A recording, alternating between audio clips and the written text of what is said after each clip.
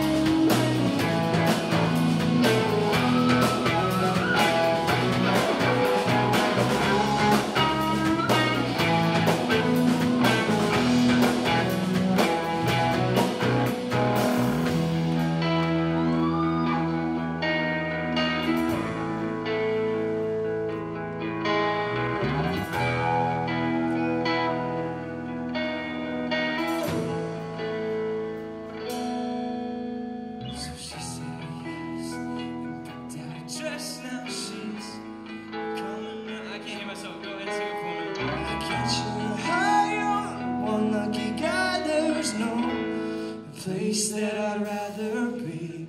So she